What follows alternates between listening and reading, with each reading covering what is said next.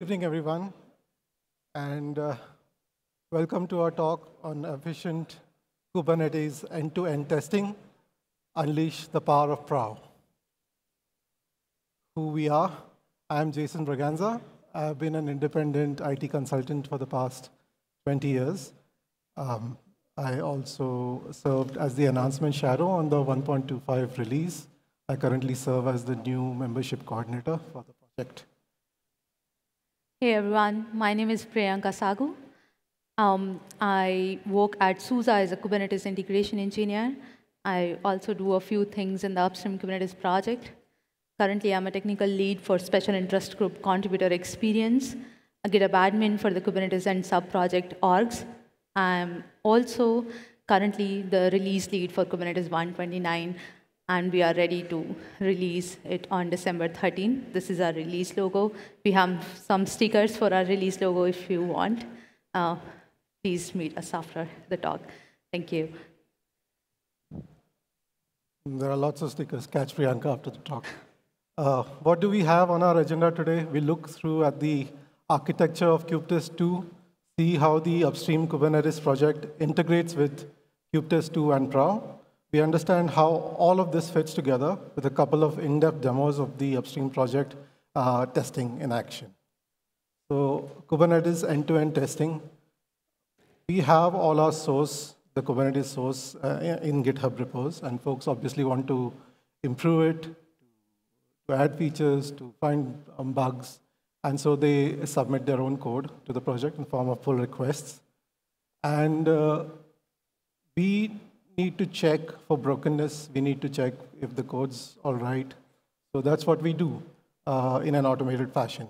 So the code's taken, uh, the PR code along with our code is taken together at a snapshot in time. Uh, we create binaries uh, based on that code, and then we stand up a cluster using the new code. Uh, there's testing that happens. Uh, the, the new cluster then runs a series of end-to-end -end tests uh, and the tests log a lot of stuff. That's what we get as the end result as artifacts. The clusters tone down, and what we have in the end is just the logs containing the test results. So all of this uh, process that I just showed you is basically uh, driven by kubetest 2. So what is kubetest 2? It's a framework for deploying Kubernetes clusters and executing end-to-end -end tests on them. It helps with cluster configuration uh, of, of, various kinds. It helps with end-to-end -end testing and log collection, it, and then the disposal of the test environments. Uh, the, the workflow uh, that I just described uh, basically comes like this. There is a build step, uh, there's a cluster configuration step, like I just showed you where it builds up the cluster first and then uh, brings it up. It then, uh, kubetest then runs the tests that we specify and does a lot of log collection. That's the test step. And then disposes of the test environment by bringing the cluster down. cluster configuration, end-to-end -end testing, test environment disposal, that's the whole flow. The architecture, uh, it's split into three independent executables, like three legs of a stool or tripod. Uh, the main binary is kubetest2. That's the one we use, we use to uh, interact with it, to drive the whole thing. But on its own, it does nothing. If you see uh, run kubetest2 and it just like says detected deployers, nothing, detected testers, nothing. So those are the missing legs of this tool. The second one is basically the deployer uh, kubetest2 is smart enough to notice if there's a file in the path that says kubetest2-deployer1, it recognizes it as a deployer of sorts and uh, picks it up like over here. So since we had that, it's now running kubetest2 says there's a deployer uh, over there in the highlighted portion. Similarly, we have testers uh, of various kinds. So those two uh, have the similar naming convention with kubetest2-tester slash whatever tester name. And then once all these three legs out there, you can see kubetest2 coming and detecting the deployer and the tester. That's the architecture in sum. Here's the example. You can have multiple deployers and you can have multiple testers, and you can mix and match. The syntax of the command then basically becomes you, you run kubetest2 with the deployer you want, with the tests you want, and with instructions to bring the cluster up and down. So kubetest2, deployer name, uh, I've, I've, split this thing into new lines for readability. So there's up, down, tester, test, followed by the tester name, and the arguments you want to pass to the tester. Like this example. Uh, it's basically the upstream CNCF Kubernetes test against a GKE cluster. So kubetest2, that's the deployer name GKE. You bring the uh, thing up and down, and we are running the Ginkgo tester uh, and then telling it to run conformance tests the same. So how uh, does the upstream project uh, integrate kubetest with Prow? Take a little uh, glimpse of the workflow. So there's, we have users who, if, if lots of you are contributors, you've uh, contributed code to the Kubernetes repos and you've seen that we can do comments and so, and we have also something like automated commands, right? You can do a slash close and you can do a slash test. There's a, here, for example, we're doing a test all to uh, run the code, uh, to run a test against the code. So all that is handled by a CI/CD system called Prow, uh, which mimics the, uh, the uh, nature of Kubernetes as a whole. Like we have a control plane that makes all the decision, decisions and the scheduling and stuff, and then uh, farms the work out to worker nodes. Similarly, with Prow, there's a service cluster which listens for events and does the scheduling and uh, distribute stuff. And there are build clusters, which then the work, uh, the tests and the work then get carried out on. So over here, this, the is listening. It takes the event, sends it to the Kubernetes cluster, the Prow service cluster, and then, the, then it creates a prow job that's scheduled on a prow build cluster. Let's take a look at what's happening in the build cluster. Uh, the, the, jobs come in, a pod's created, it, uh, for our tests, it pulls a specific image called kubekins E2E, and then that is the thing that pulls kubetest down and uh, runs it with the arguments we specify. So the primary features of kubetest, having looked at all this, is basically we get a consistent cluster lifecycle. We know how to consistently pull, uh, pull any kind of cluster up and down. There's decoupled implementation of deployers. You can have multiple deployers, you can have multiple testers, you can mix and match them. There's reproducible CI and local testing experience, where the stuff that you're running on your CI-CD system, you can also get kubetest to down on your system, get your um, tester down, get your deployer down, and then simulate the experience on your local machine too. Kind of the same. And it has support for Boskos, which is a PROW plugin which uh, helps with lifecycle management, so you don't really have to deal with uh, bringing up another cluster itself. It will ask for a lease for an AWS service or a GKE service, and Boskos will provide it to them. We have bespoke deployers. At present, kubetest only supports GCP, GKE, and kind deployers in tree, which then how does something else work? Like I just spoke about different kinds of deployers, so how does that work? Those are external. It uh, kubetest enables running custom deployers for different cloud cloud platforms out of tree. That's how we have an AWS or Microsoft deployer working. You can write your own bespoke deployers. Uh, you can learn. This, we don't have time for that right now. So if you want to learn a lot, that my colleague Priyanka has a whole talk on it over here. So you can scan this, you can always get the slides later and check more out. So having spoken, spoken about Prow and, and looking at, looked, at, looked at its architecture, uh, let's see how it works in action. Let's, let's dive into some demos. For that, I'll hand it over to my colleague, Priyanka. Thank you, Jason. So here we, we just learned about what is kubetest2 and how it comes in the picture with Kubernetes project. Um, let's see a few jobs from Kubernetes project. For example, I'm a release lead, and what matters for me is I have a green signal when I have to do the release, and we have jobs that gives us that signal whether our master Kubernetes Kubernetes branch is healthy, um, whatever changes that are sitting inside that branch, uh, are they okay to ship in a sudden release? So before we do that, um, I want to introduce you with a prerequisite topic something called Kubernetes version markers. So every single day, we are receiving these hundreds of PRs from so many contributors around the world. And every time we receive a new change, we have few jobs, few scripts you can understand that keeps checking out all the code from Kubernetes slash Kubernetes repository with all these changes and build artifacts out of them. And when I say artifacts means Kubernetes binaries, because we want to test whatever changes, whatever new changes that are now added to our Kubernetes slash Kubernetes master branch, are they actually building binaries that are not breaking any other changes? So that's where Kubernetes version markers helps us. Kubernetes version markers are text files, uh, which acts as sort of public API for accessing Kubernetes builds. So what does this mean? For example, I, cre I created a PR to add some changes to Kubernetes slash Kubernetes repo. Now, a job or a script ran, and it created a fast release of Kubernetes, which gave me Kubernetes binaries.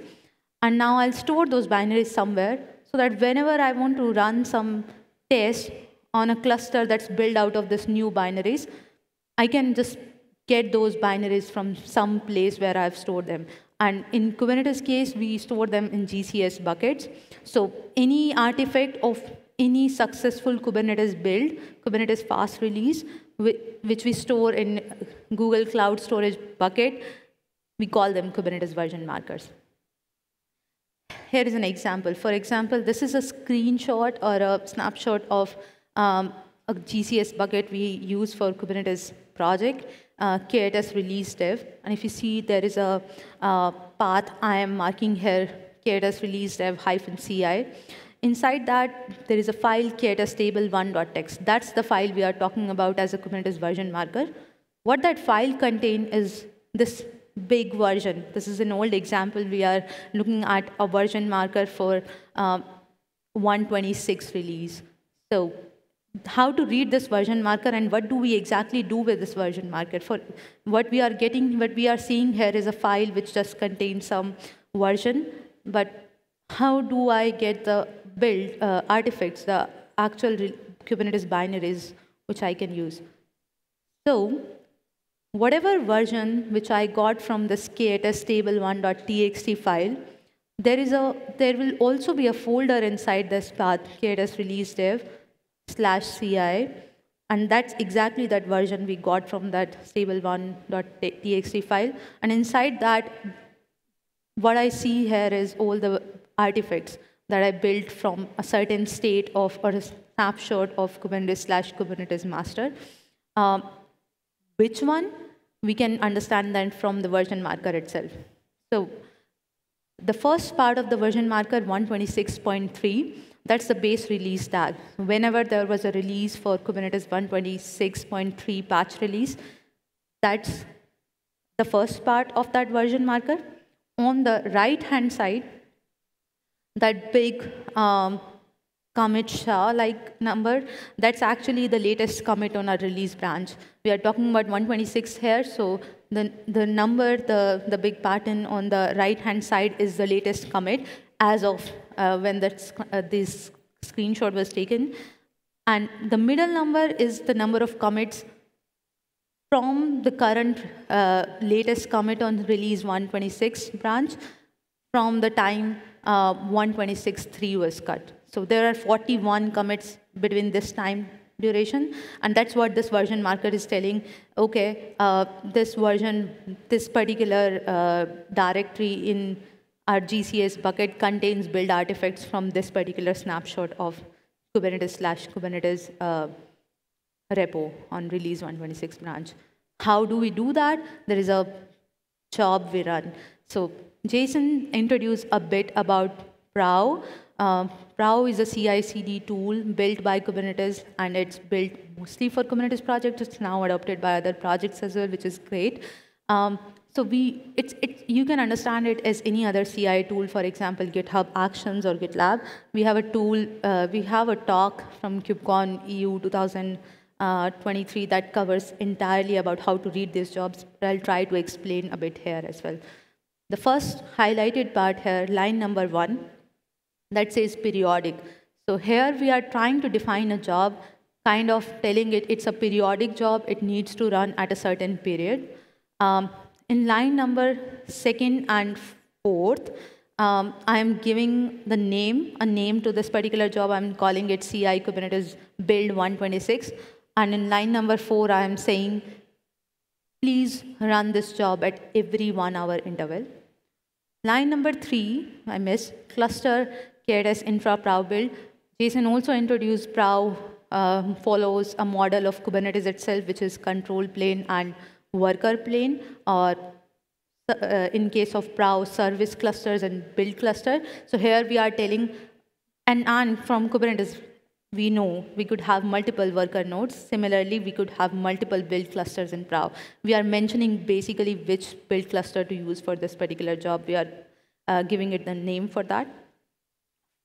Line number five um, helps us to do that entire thing. So it, it is, what we are doing here is we are giving some um, annotation here, decorate set to true. What this annotation does is it tells Prow, now you need to um, check out something. You need, we are calling it, we need to build Kubernetes from the Kubernetes slash Kubernetes uh, master or a certain release branch. We need to uh, build binaries. How to do that? All that functionality is initiated by line number five, but what needs to really check out, we are giving that in line number six to nine. We are telling it, please look for the GitHub or Kubernetes, repo Kubernetes, and release branch release 1.26. Please check out the uh, code from this particular Kubernetes repo, and then do something about it. These are some another uh, other set of annotations for whenever uh, we also plug in whatever we are going to see. For example, whenever this job is going to run, uh, we need to post the log somewhere. We need to see whether the job ran successfully or not.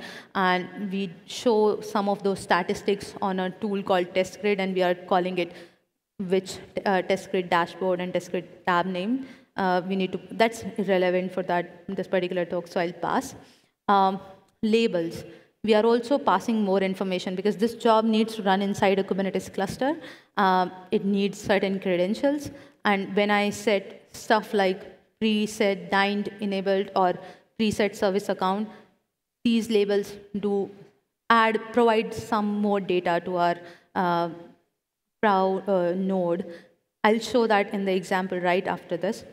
Finally, we have the spec. It is like any Kubernetes pod spec. Here we are giving uh, an image uh, on line number 21. This is the image you have to use to create a pod inside, container inside a Kubernetes cluster. Uh, we are giving it Kubernetes CI builder. That's, that's the uh, image that is what we use to build uh, Kubernetes binaries. And everything else is similar to any other Kubernetes pod spec. We are setting up resources here line number 3031, we are giving it privileged access. And finally, we are doing something inside that container. Um, what we are doing here is running a krel command. krel or krel, it's a tool uh, created again by Kubernetes project itself for uh, our release process. It stands for Kubernetes release. Um, what we are doing, that is exactly the tool that we use to do any releases. So even our minor releases, patch releases, um, any other RC, beta, alpha cut, all those are cut by uh, using this tool called krel. We also do fast releases, and that's what we are doing here. Um, I'm just telling it, krel, um, CI build, build the Kubernetes from what we um, kind of like the code we checked out from Kubernetes slash Kubernetes release 126 branch, build the Kubernetes binaries out of that and dump them in a bucket, which is, we are telling it on line number 38, uh, dump all those binaries in Kubernetes hyphen release dev in a registry. Um, all the images that you are creating, apart from the binaries, put, put them in that registry and add a version marker. So whatever, whatever, is, whatever version is created out of that particular build, fast build, put that version in a file called k8s-stable1. How all this process, when that job actually runs and inside a Kubernetes cluster, how does that look like? Let's see. So whenever uh, Prow gets a trigger for that, a pod is created. we saw the pod is created using a container image called K8s CI builder. We also gave it some information from where it has to check out the code. So it is checking out the Kubernetes slash Kubernetes, which is it's cloning the Kubernetes slash Kubernetes repo at release 1.26 branch. I also talked about certain uh, labels, like which were uh, prefixed by preset. So what does label do? Uh, preset service account when set to true, it gives us this information. What it's doing is it's setting up two environment variable, uh, Google application credentials, E2E Google application credentials, some information that's giving on wherever the cluster is going to be, uh, uh, sorry, uh, it's, it's giving us some information to interact to the Google uh, GCS bucket where we are going to store our build artifacts. Um, the actual uh, JSON file, service account.json file is also added to our pod as a volume. We also had another preset dind enabled that Again, sets another environment variable, Docker and Docker enabled, set to true. Again, uh, creates empty uh, directory Docker graph to make sure we can um, run Docker inside this Docker image container. And finally, once our pod environment is set up, what we do is we run this krel command, which again, we discussed. It's, it's going to do a fast release. It's going to do um, to create, it's going to create Kubernetes binaries out of this particular clone and dump them into a bucket K8s release dev and provide the version marker in K8s hyphen stable 1.x.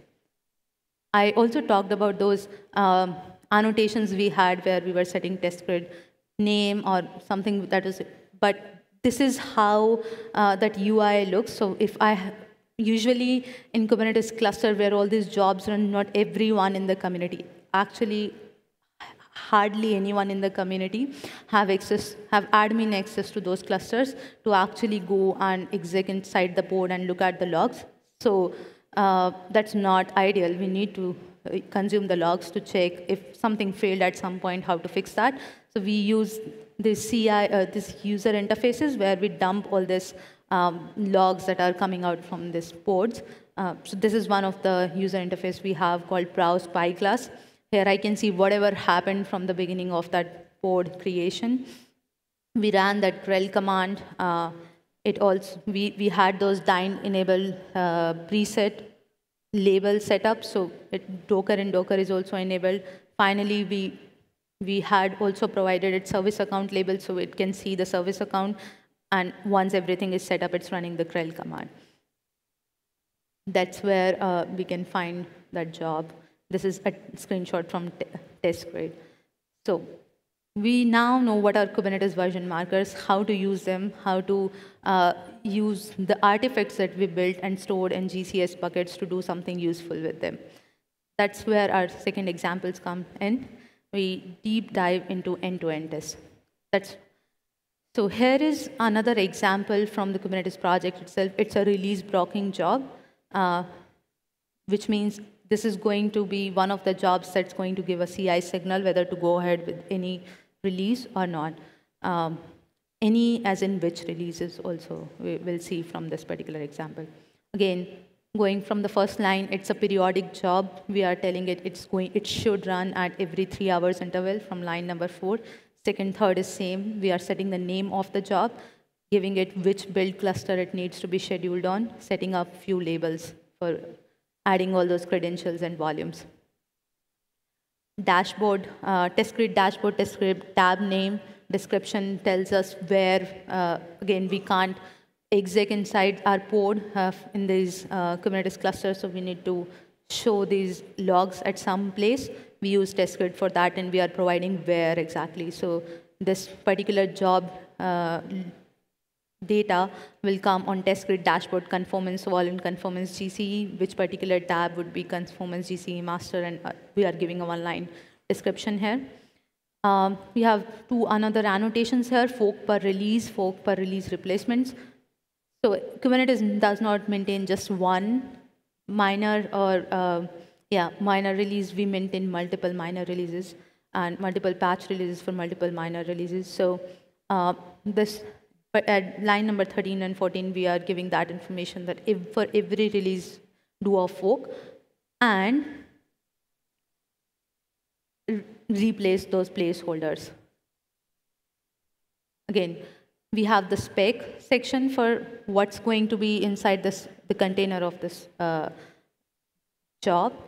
We are going to build this container this time with a new image called Kubekins E2E. It's going to be relevant because this image ships with something that Jason introduced in first part of this talk. Um, which actually is KubeTest. I just so I've written it there. So this image comes with KubeTest 2. That's the tool that we use to build um, binaries or bring up a cluster, then run tests and bring down the cluster while collecting all the logs. So this is the image uh, that ships with those tools, along with other tools like gcloud and kubectl. gcloud to talk to our GCS uh, uh, or GCP buckets. We, we can also have these jobs running on AWS, so those, those other tools also ship as well. kubectl to interact with the new cluster whenever it comes up. Um, and now these are the arguments. So here we are saying, we are now going into the details of what kind of test is running here. Here we are saying um, on line number 21, use the test scenario Kubernetes end-to-end test. So there is a link at the bottom of this page, git.k8s.io slash test infra. That's the repo where all our test details that run inside this prow jobs, or if not all, at least some of some major uh, uh, bulk of those details that actually points to other places um, where our tests are stored in Kubernetes project. So we have those scenarios stored at that path, and out of all those scenarios, we are telling it just use the Kubernetes end-to-end -end test. And then in whenever you use the scenario, use these other different set of arguments as well to tell what, uh, what you actually, where you actually need to run those end-to-end -end test scenario. So let's see again this in action. Here we have a pod. We created the container using kubetest uh, Kubekins end-to-end image, we set the uh, preset service account true. Uh, that helped us to check out Kubernetes slash test infra at master, um, as well as added all those um, environment variables, uh, service account volume. Similarly, we gave it K8s SSH, so we, in this particular test, uh, we need uh, SSH keys we are adding with this another um, preset. And that's, this is where our command is coming into place. So we asked it to run this particular test scenario called uh, test infra slash Jenkins slash scenario Kubernetes end-to-end -end test. What this particular Python file does is it actually creates a kube test command. It, all, all this file does is whatever all the arguments that we provided it in front of it, use them and creates a kubetest2 command for us. So here uh, we are telling it use kubetest2 and use all this information that I'm giving. For example, the GCP service account to interact with the GCP cluster.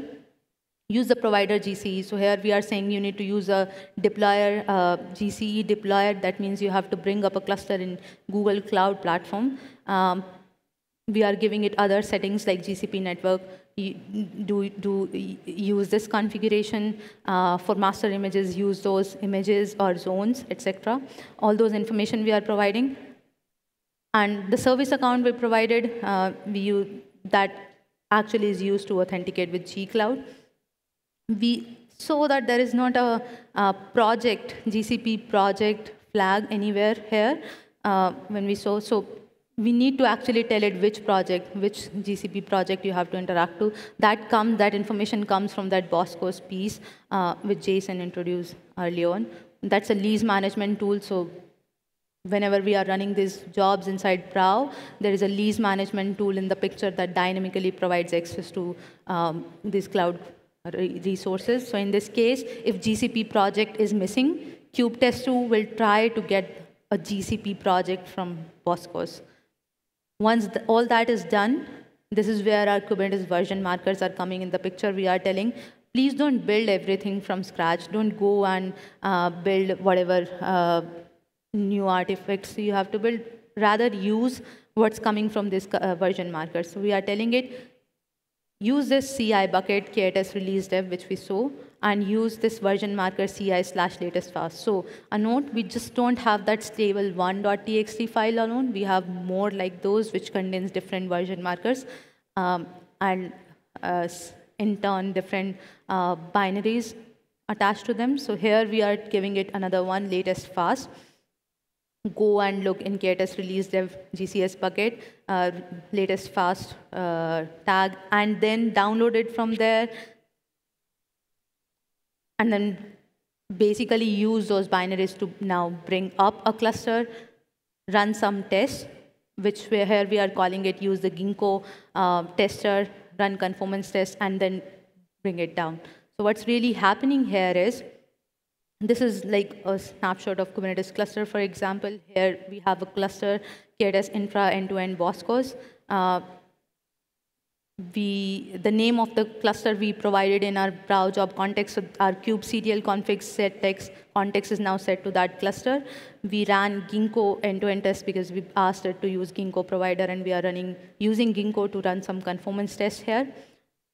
Whatever logs, whatever test results are uh, generated out of that particular test run, we are taking them out, dumping them on a certain uh, path in our container, and then bringing down the cluster because all we needed was to run some tests uh, and check whether those tests are good or not to make sure these changes are uh, working fine with our existing state of Kubernetes cluster.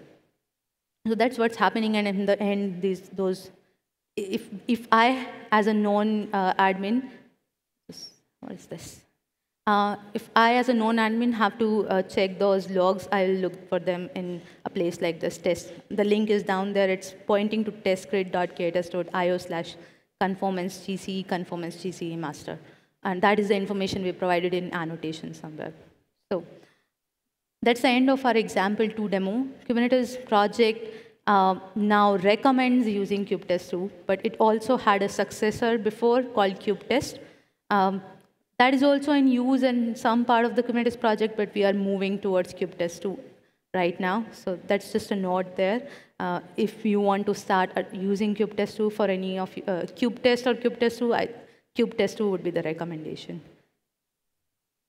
Now, we can't do all this testing uh, with kubetest or all this prow job testing locally. Uh, like we do not want to just run the test in, on Kubernetes slash Kubernetes right away. Uh, before we do that, we want to test those changes maybe locally as well or somewhere at least. So there are some ways to test these prow jobs. Um, one of the easiest ways, pull that Docker uh, image that we, we provide in our pod spec of prow job, pull that down on your local machine, and then run all the commands that we provide in the command section.